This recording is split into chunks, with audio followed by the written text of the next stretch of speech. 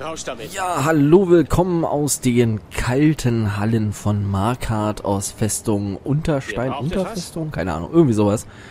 Äh, Wir reden mal mit dem Jarl. Mal gucken, was der so hat. Sohn des Rolfdir, Jarl von Markart. Aha, okay. Ich möchte gerne ein Haus kaufen. Ich kenne euch nicht. Und ich verkaufe die wenigen Gebäude, die wir haben, nicht an Fremde. Ja, du bist ja genauso freundlich wie dein Doch Volk. falls ihr arbeiten wollt und euch als verlässlich erweist, werde ich euch vielleicht als würdig erachten, hier zu leben. Das ist aber nett. Mein Vogt wird sich dann um den Rest kümmern. Mensch, das ist ja hier richtig entgegenkommend. Na, Das brauchen wir, glaube ich, nicht sagen. Der Marktplatz wurde angegriffen. Meine Wachen haben mir davon berichtet, arme Margret. Und Augenzeugen zufolge hat der Täter unsinniges Zeug gebrüllt. Er sei ein Abgeschworener. Hm, ja, genau. Ich will eins klarstellen. Markart hat durchaus seine Probleme. Ja, das glaube ich. Aber es befinden sich keine Abgeschworenen in dieser Stadt. Nee, ja, ich weiß ja nicht. Die stellen nur da, wo sie leben, eine Gefahr dar. In den Hügeln und entlang der Straßen. Überall sonst üben wir die Kontrolle aus. Ich weiß ja nicht. Ähm, wie ist es denn? Du hast ja was von Arbeit erzählt. Seid ihr Söldner? Boah. Leute wie euch kann ich nicht leiden. Was? Keine Ehre, keine Loyalität. Unzuverlässig. Was? Aber einen potenziellen Verbündeten kann ich in Zeiten wie diesen nicht einfach Was so ist das abweisen. denn? Mal sehen, ob ihr besser seid als das übliche Söldnerpack. Ey, ich, ich, Meine Kundschafter haben einen Anführer der Abgeschworenen aufgespürt, Kann grad wieder ausrasten, die sich ne? in ihren blutdurchtränkten Lagern verstecken. Aha. Kümmert euch darum. okay. Ja, so soll es geschehen. Wir werden sehen. Ich, äh, wenn, pass du mal lieber auf, wenn du abends ins Bettchen gehst, ja? Dann, äh, solltest dich lieber mal umdrehen und unter deinem Bettchen gucken. Ein Beat mischen, ja, ja, dann kommen sie auf einmal wieder. Achso, wir reden mal mit dem Heini hier. Die Silberblutfamilie wird Gehör finden. Aha, okay. Ihr da. Seid ihr auch so ein kaiserlicher Lakai? Los, antwortet. Dir schon mal gar nicht. Ich weiß nicht, worum es geht. Es herrscht Krieg. Und ihr wisst nicht, wovon ich rede? Nö. Das Kaiserreich ist dabei, alles zu zerstören, wofür Himmelsrand steht. Und? Jarl Igmund soll sich nur weigern, mich zu empfangen. Die Silberblutfamilie wird dennoch Gehör finden. Ja, ja. Ähm, was mit Talos? Warum sollte der Jarl denn auf euch hören? Uns gehört die Sidna-Mine, Und? das beste Gefängnis in Himmelsrand. Ach, das gleichzeitig das Gefängnis. Und Quelle der Hälfte des Wohlstands in dieser Stadt. Aha. Wir sorgen für die Sicherheit von Reach. Sicher. Wir überschwemmen Markart mit Reichtümern. Klar. Aber hört der Jarl uns zu, wenn wir mitreden wollen? Nein. Ja, weil ihr halt nicht die regierende Macht seid. Er übersieht dabei geflissentlich, dass Ulfric Sturmmantel diese Stadt vor den Abgeschworenen rettete. Aha. Ulfric ist ein Held. Und kein verdammter Das wird Verbrecher. sich noch rausstellen, mein Freund. Äh, Ulfric hat Market gerettet. Wie? Nee, das interessiert mich jetzt eigentlich nicht. Macht in meiner Stadt keinen. In deiner Stadt. Pff. Es ist, man könnte hier eigentlich wirklich nur durchrennen, ja, und einen nach den anderen enthaupten. Also das ist doch. Ah, oder hier die Traugriche herlocken, ja, irgendwie sowas, keine Ahnung. Also, Nimm irgendwie Knochen und lockt die hinter sich her, so die ganze Zeit.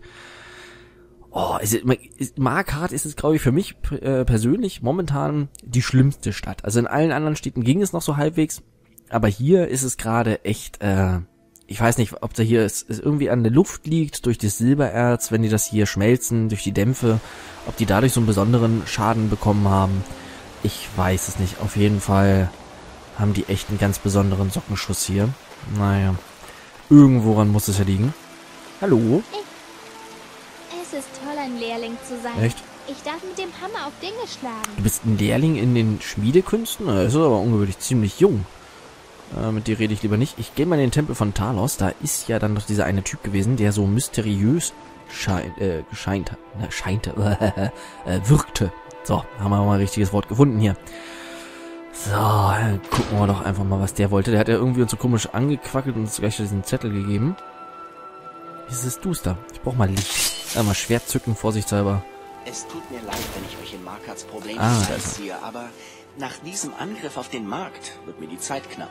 Ah, okay. Ihr kommt von außerhalb, ihr seht gefährlich aus. Das wird Hä? genügen. Ähm, Ihr kommt von außerhalb. genügen? Wovon redet ihr denn? Ihr wollt Antworten? Ja.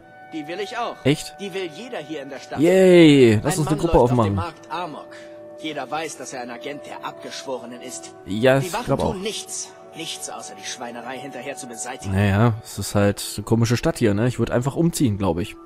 Also ihr wollt, dass ich rausfinde, warum das alles passiert ist, oder wieso? Das geht schon seit Jahren so. Echt? Und So ich habe lange? nur Mord und Blut finden können. Mhm. Ich brauche Hilfe. Ja, okay. Bitte.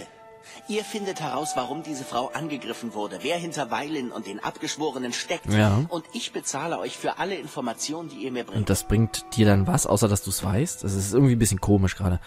Ähm, äh, wer war denn Weiden und wo hat er gelebt?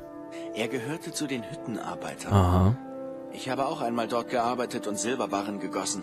Wow, hört sich jetzt nicht so Ich spannend habe an, ne? viel über Weilen gewusst, nur, dass er wie alle anderen Arbeiter in der Wohnkaserne lebt. Ah, okay, das ist ja schon mal ein Anhaltspunkt. Ähm, habt ihr denn diese Mordfälle bisher untersucht? Ja. Es begann, als ich noch ein Junge war. Was, so lange schon? Meinem Vater gehörte eine der Minen. Das ist selten für einen Nicht-Nord. Ach, ihr seid nicht Nord. Er wurde getötet. Hm. Die Wächter sagten, es sei ein Verrückter gewesen, aber alle wussten, dass der Mörder einer der Abgeschworenen So lange war. tyrannisieren die euch hier schon? Seither Heftig. versuche ich herauszufinden, warum. Bislang erfolglos. Und dann habe ich geheiratet.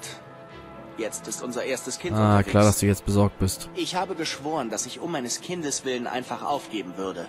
Aber es ist, als würde mich der Geist meines Vaters heimsuchen. Als fragte er mich, warum. Oh, spooky hört sich das ja an. Ähm, wisst ihr denn irgendwas über diese Margret? Sie kommt nicht aus Markart. Ah, okay. Alles an ihr schrie förmlich Fremde. Aha. Besucher der Stadt übernachten für gewöhnlich im Gasthaus Silberblut. Und die nicht, oder wie? Hm, und wer sind eigentlich diese Abgeschworenen? Ich habe da schon so viel gehört. Sie sind das, was von den alten Herrschern von Markart noch übrig Das waren aber die Zwerge. Ist.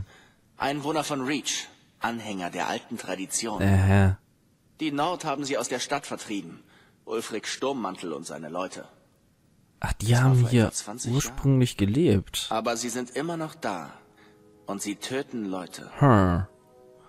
Na gut, ähm, Haltet hört sich ja schon mal interessant an. Euch ist offenbar niemand gefolgt. Gut. Der ist, ähm, wäre sonst komisch gewesen, oder? Sonst hätten wir uns, glaube ich, nicht unterhalten. Der Tempel ist relativ litsch. Warum auch immer jetzt hier der überhaupt noch steht. Das wundert mich eigentlich, weil normalerweise ist ja die Anbetung von Talos verboten. Und ich, also ich wäre jetzt der Meinung gewesen, dass man dann alle Statuen, alle Tempel von Talos dicht macht. Äh, warum man das jetzt nicht getan hat, ist jetzt auch wieder so eine seltsame Angelegenheit. Ähm, denn eigentlich hätte man ja dafür sorgen müssen, dass das irgendwie nicht mehr möglich ist mit dem Anbeten. Hm, naja, alles, alles sehr, sehr seltsam. Ja, ja, ich hoffe mal hier runter. Uah, ups, irgendwo ins Dunkel. Hier ist es auch mächtig duster gerade. Womit handelt ihr denn? Welch Farbenpracht. Ähm, was habt ihr denn zu verkaufen? Ich habe wunderbaren Schmuck. Ach, Schmuck. Uh, ich glaube, da habe ich auch irgendwas, was die verkaufen kann. Äh, ja, genau, diese Kette hier. Komm, äh, Vorsicht. Das ist, das ist ja doof hier. Das wechselt die ganze Zeit hin und her. Und ich muss aufpassen, dass ich nicht die falsche Kette verkaufe. Ich habe übrigens mal eine Frage zu dieser Margret. Bitte. Ich möchte darüber nicht reden. Dieses ganze Blut. Aha, Wenn ihr antworten wollt, fragt in der Taverne. Sie hat mir gesagt, sie wäre dort. okay. Wer ist denn Kommt sie? vorbei. Gut, dann gehen wir doch mal in die Taverne und fragen da mal nach. Also wenn das so dieser, die Fährte uns momentan dahin führt, es kommt gerade wieder so dieser ähm, Sherlock-Org in mir durch. Hm. So ein bisschen, jetzt muss die Pfeife rausholen wahrscheinlich. So Pfeife in den Mundwinkel hängen und so, ja, so ein bisschen komisch sprechen, weil immer die Pfeife nicht rausfallen darf. Muss man einen Mundwinkel immer so zusammenkneifen. Kommt rein. Ähm, Im hallo? Ihr solltet mit meinem Vater... Ja, ja, dann Kärtner reden wir auch sprechen. mit deinem Vater.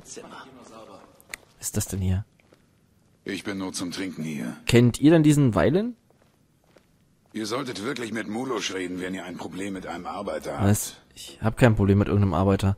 Also gut. Mit ihm vielleicht? Schön, euch wiederzusehen, Könnt Freund. ihr mir was über diesen Weilen sagen? Den Abgeschworenen? Mhm. Genau, ja. Wir wussten es alle. Echt? Sogar dieser dumme Sklaventreiber Mulusch. Fragt ihn einfach. Okay. Noch ein ehrlicher Mann, der in diesem Wahnsinn sein Leben verloren hat. Und wofür? Äh, das ist jetzt irgendwie alles sehr seltsam Also gerade. Wir, wir reden gerade mal hier mit ihm. Das ist das Gasthaus Silber. Ähm, hat hier denn eine Ich Frau namens Margret gewohnt? Ach ja, sie hat unser schönstes Zimmer einen ganzen Monat lang gemietet. Oh, das ist natürlich teuer. Wir sollten sie lieber alle vergessen. In Markart bringt es Pech, über die Toten zu reden. Ist das so, ja? Ist natürlich, ist ja komisch. Beschaffe den Schlüssel. Mhm. Äh, nee, mit ihm kann ich doch nicht weiter. Vielleicht mit der Frau? Hier steht sie, ja? Nee, ist Ja. der Sohn. Wo ist denn, wo ist denn die Frau von ihm? Ist das die Tochter, glaube ich? Im Gegensatz zu meinem Ehemann Klepper kümmere Fragen wir ich sie mich mal. um Also, hat denn da eine. Frau namens Margret gewohnt? Ah ja, sie hat unser schönstes... Kenn ich schon. Wir sollten sie lieber alle vergessen. Kenn ich auch schon. In Markart bringt es Pech, über die Toten. Ah, verdammt. Was ist mit ihr hier? Warum können die Männer in dieser Stadt mich nicht einfach in Ruhe lassen? Keine Ahnung, weil es Männer Ich sind bin wahrscheinlich. Das, was man gemeinhin einen Glücksritter nennt. Ähm. Das ist gerade ein bisschen doof alles. Ihr seid ein Kämpfer? Wie wär's mit einer kleinen Wette? Hat denn eine Frau namens Margret hier gewohnt? Oh ja. Hübsches kleines Ding. Hatte hier ein Zimmer, glaube ich. Frag den Wirt. Nein, habe ich schon gefragt, aber der wollte mir den Schlüssel nicht geben. Ähm, was für eine Wette ist das denn? Ich bin betrunken und es ist eine Weile her, dass ich einen guten Kampf hatte. ich wette 100 Septimen, 100? dass ich euch besiegen kann. Mit meinen bloßen Händen. Äh, Wette angenommen. Das nenne ich Kampfgeist. Dann mal hoch die Fäuste. Du hast keine Chance, Freund. Bevor du aufstehst, habe ich dich schon hier ordentlich massakriert. So, und ordentlich drauf. Ah, alle hier fleißig dabei, alle freuen sich. So, und schon hat er verloren. Na komm her, gib mir dein Geld. Ja, ja, ja. Jetzt, äh, gib mir das Geld. Also ihr habt verloren, los, her mit dem Geld. Fairer Kampf. Hier, nehmt es. Dankeschön.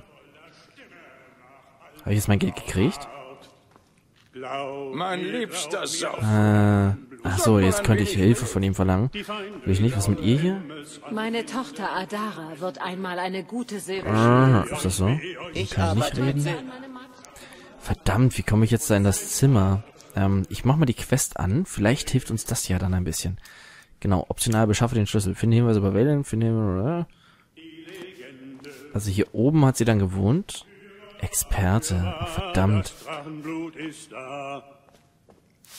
Beachtet das Geschrei gar nicht. Ja, ich will den... Vielleicht kann ich bei ihm das Zimmer mieten. Das ist das Gasthaus Silberblut. Ich lasse euch selbst Ähm, darauf ich würde gerne ein. Zimmer mieten. Ihr scherzt wohl. Ihr habt doch gerade erst ein Zimmer von mir gemietet. Ja, aber vielleicht möchte ich... Ach, verdammt, ich habe... Das ist immer noch gemietet? Okay. Oh, wie soll ich denn den Schlüssel besorgen? Optional könnte ich von ihm wahrscheinlich von ihm klauen, aber... Mm, Das ist natürlich... Wie machen wir? Also wir könnten natürlich warten, bis die alle schlafen. Oh, jetzt, jetzt ist es sicher. Ach, ich habe den Schlüssel. Ich habe den Schlüssel schon. Wir können natürlich jetzt alles nehmen, weil das gehört ja alles dieser Margret. Und da die nicht mehr lebt, braucht sie das nicht mehr. So, kann ich das Gold hier nicht mitnehmen? Ja, genau. Haben wir vielleicht irgendwelche Bücher oder sowas? Wäre vielleicht ganz clever, wenn ich mal das Licht anmache, oder? Hm, ich glaube auch. Achso, äh, wo ist denn hier? Kerzenschein, genau. Da. Na komm. Ach, ich stehe jetzt nicht so an hier. Mach. Ich brauche Licht. Dann durchsuchen wir mal die Bude. Da oben, da oben ist das. Die mächtigste Wahrheit aller oder Legende. Aha. Ach so, die Nachtigallen. Ah, Wahrheit oder Legende. Ah, ja, die Nachtigallen. Mhm. Auch ein seltsames Völkchen. Was haben wir denn hier in dem Beistelltischchen? Vielleicht ist da was drin, ne? Margrets Tagebuch. Uh, das hört sich interessant an. Dann lesen wir doch mal kurz ein bisschen quer. Äh, wenn die Schrift dann weggeht, dann kann ich auch lesen. Also, was haben wir denn da? In der Schatzkammer findet, ja, geht das weg, findet heute ein Treffen statt. Hat lange genug gedauert. Diese Leute führen sich auf, als würde ihnen alles gehören. Es geht um die Silberblutfamilie garantiert. Thoma Silberblut ist der jüngere Bruder, aber er ist offenbar derjenige, der das Sagen hat. Hm, den Eindruck hatte ich auch. Er macht die ganzen Geschäfte und schüchtert die örtlichen Landbesitzer ein, damit sie an ihn verkaufen. Hm, ja, das habe ich mitgekriegt. Die eine Mine vor ein paar Tagen, als ich daran vorbeigegangen bin. Er hat sogar dieses dünne Mädchen an der Tür angeheuert, um Störenfriede wie mich abzuschrecken. Äh, welches dünne Mädchen? General Tullius wird langsam ungeduldig, aber ich werde die Besitzurkunde der Sidna-Mine zurückbringen. General Tullius? Ist das einer von den Kaiserlichen vielleicht? Bei meinem Leben, ich werde nicht zulassen, dass einem Haufen von Sturmmantel-Sympathisanten Das Gefängnis gehört. Ah, okay, dann ist er doch wirklich von den Kaiserlichen. Das die berüchtigsten Verbrecher von Reach beherbergt. Oh, die sind da alle drin, ja? Es heißt, niemand entkäme daraus. Wieso? Ist es wirklich so sicher? Hm, eigentlich kann man überall ausbrechen. Vielleicht war es etwas voreilig von mir, die Konfrontation mit Thomas zu suchen. In jeder Ecke dieser Stadt lauern Schatten und ich weiß, dass ich beobachtet werde. Ah ja, ja, wurdest du auf jeden Fall. Definitiv. So, dann nehmen wir mal das Tagebuch an uns. Den gusseisernen Topf können wir da drin lassen. Das haben wir dann schon mal. Also über sie haben wir schon was. Also sie scheint ein Spion der kaiserlichen Armee gewesen zu sein. Ist auch irgendwie sonst ähm, ein bisschen komisch. Wie kann sich sonst die Dame, es sei denn, sie ist die Gattin eines reichen Händlers oder selbst reiche oder erfolgreiche Händlerin. Oh, ähm. Ihr. Ich habe beobachtet, wie ihr herumgeschnüffelt und Fragen gestellt habt. Äh, echt? Und jetzt? Verschwindet. Ihr wollt lieber nicht herausfinden, was wir hier mit Störenfrieden Du willst nicht herausfinden, was ich da mit dir mache. Ähm. Ja, ist, eigentlich bin ich ja geneigt, das hier zu machen, ja. Ähm. Oder das hier. So nach dem Motto, was jetzt, hä? Ich bin neugierig, was ihr da vorhabt mit mir. Aber, na, ich glaube, die schmeißen mich einfach in den Knast. Na gut, ich möchte keine Schwierigkeiten machen. Ich gehe erstmal, ich glaube. Aber ihr seid auf der Suche danach. Das ist fast genauso schlimm. Echt? Dies ist unsere letzte Warnung, Fremdling. Nur wir sorgen hier für Frieden. Ja, ja. Mischt euch nicht in unsere Angelegenheiten ein. Ja, ja, ich habe das schon gesagt. Ich werde gehen. Ingwer, der Sänger. Das ist natürlich jetzt ein bisschen brenzlig. Vor allen Dingen, wo soll ich denn jetzt hingehen? Was sagt denn die Karte hier, wo ich jetzt hin soll? Machen wir hier. Ist einmal hier. Schatzkammer, da soll ich hin. Oder hier hin. In die Wohnkaserne. Dann gehen wir doch mal in die Wohnkaserne. Die ist hier rum. Mal Licht an. Ich hoffe jetzt, das nimmt keiner als Provokation. Die, ah, Veränderung verbessert. Sehr schön. Das war ja auch kurz vorm Aufleveln. Ich hoffe natürlich jetzt nicht, dass... Ah, wir schnüffeln ja eigentlich weiter rum. Es ist äh, eigentlich ungut, möchte ich mal sagen. Oh, oh, oh, oh, oh. Ah, Mensch, das kann was werden. Wer weiß, also wenn er jetzt schon die letzte Warnung... Ich glaube, es wird dann wirklich darin enden, dass wir im Gefängnis landen. Denn... Ich hoffe nicht, dass ihr Ärger sucht. Was kann ich für euch tun? Ähm, ja, lass noch mal kurz quatschen. Die Wohnkaserne ist kein Ort für Leute wie euch. Ähm, Schleichen. Ähm, was ist denn diese Wohnkaserne? Dahin zieht man, wenn man sich nirgendwo sonst ein Zimmer leisten kann. Ah, gut, das hatte ich mir gedacht. Ungefähr zu der Zeit, als die Minen geöffnet wurden, kam jemand auf die Idee, da ein paar Betten reinzustellen. Na nett. Arbeiter, die Kranken, die Lahmen, wir sind alle hier. Ah, super das Elendsviertel praktisch. Äh, hier wohnen nur die Armen und die Kranken? Das kann man wohl sagen. Willkommen in Markart. Den Göttern sei Dank, dass ihr nicht hier leben müsst. Ja, das stimmt. Also ich bin wirklich, glaube ich, dankbar dafür. Ähm, kennt ihr denn diesen Valen?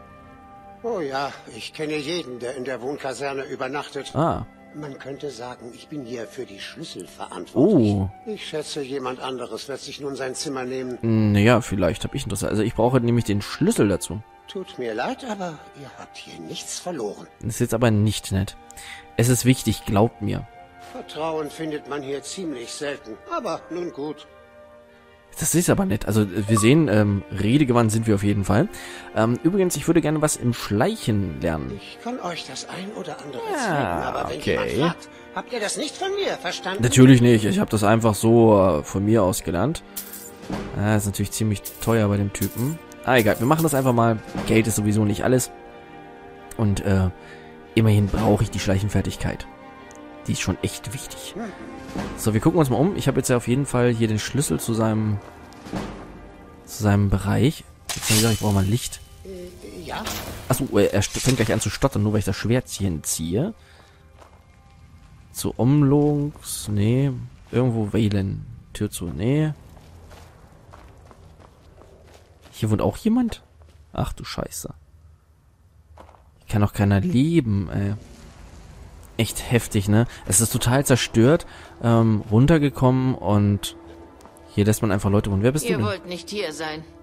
Das will niemand. Naja, das glaube ich. Ich kenne hier keinen, der nicht an Rüttelfieber oder Ataxie Oh, leidet. du bist krank? Dann äh, weiche von mir. Das ist auch nicht das. The Gains? Irgendwie sowas stand da. Hm. Was haben wir hier? Valens Zimmer. Okay, das ist schon mal Valens Zimmer. Ich gucke trotzdem erstmal noch in die restlichen Ecken. Hier liegen, ja, hier liegen sogar Überreste von irgendwelchen Menschen oder menschenähnlichen Kreaturen. Kann man nachher nicht sagen. So, dann gucken wir doch mal rein. Ob wir hier vielleicht... Ach, es liegt schon wieder aus. Ich würde vielleicht doch eine Fackel mehr irgendwie mal organisieren. Am Anfang dachte ich auch zum Beispiel, hey Mensch, man könnte vielleicht diese Laternen benutzen als Lichtquelle. Hm, leider ist dem nicht so. Und ich habe jetzt die leise Befürchtung, dass wenn ich hier irgendwas mache... Oh, was ist das denn? Ah, nur eine ganz normale Spitzhacke, okay. Dass ich, wenn ich jetzt hier irgendwas mache, mh, hm, wahrscheinlich gleich die Wachen angerannt kommen. Oh, was sind das? Schlüssel zu Valens... Toll, Schlüssel zu Valens Zimmer. Den habe ich schon bekommen, aber ich nehme trotzdem mit. Einfach der Vollständigkeit halber. So, Valens Notiz, was hat er denn da drin stehen? Valen, ihr seid auserkoren worden, die Herzen der Nord mit Furcht zu erfüllen. Oh. Geht morgen auf den Markt, ihr werdet schon wissen, was zu tun ist. Aha, das hört sich jetzt nach purer Willkür an, dass sie dann sterben musste. Ähm, ja, okay. Auf jeden Fall dann normale Klamotten. Gucken wir doch mal raus. Ich glaube, ja, bisher sieht alles gut aus. Keine Wachen oder so. Man hat es, glaube ich, noch nicht mitbekommen. Obwohl, ich frage mich auch, wie die das vorher mitbekommen haben wollen, als dass wir da rumgeschnüffelt haben. Gut, wir waren in dem Haus drinne. Ah, ich hoffe, das geht jetzt gut und wir bleiben unentdeckt hier.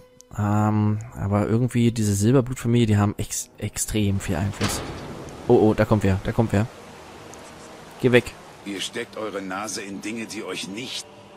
Los geht's. Äh, was? Los, zeigt mir, aus welchem Holz ihr geschnitzt Was, der kämpft jetzt gegen mich? Ähm, warum muss ich denn... Warum muss ich ihn verhauen? Warum muss ich ihn verhauen? Wer sich, warum prügelt er sich mit mir? Warum sind meine Waffen? So, hier, komm mal her. Jetzt reden wir erstmal. Was? Was willst du denn von mir? Sprecht oder ich schicke euch zu den Göttern. Nepos die Nase hat mich geschickt. Aha. Der alte Mann gibt die Befehle. So ist das also. Und weiter? Nepos die Nase hat mich geschickt. Der alte Mann gibt die Befehle. Na gut. Dann äh, werden wir uns doch mal um Nepos die Nase kümmern, ne? Hat er uns sogar schon hier einen Attentäter auf den Leib geschickt. Oder auf den Hals geschickt, ja? So, äh, auf uns angesetzt.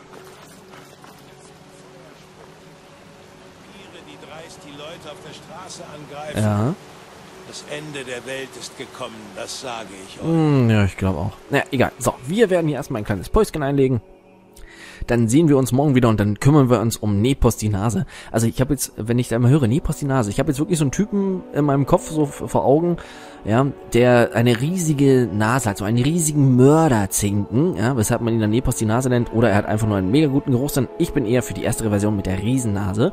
Wir gucken dann einfach mal, wie er wirklich morgen aussieht. In diesem Sinne dann, bis morgen, euer Mr. Zocker.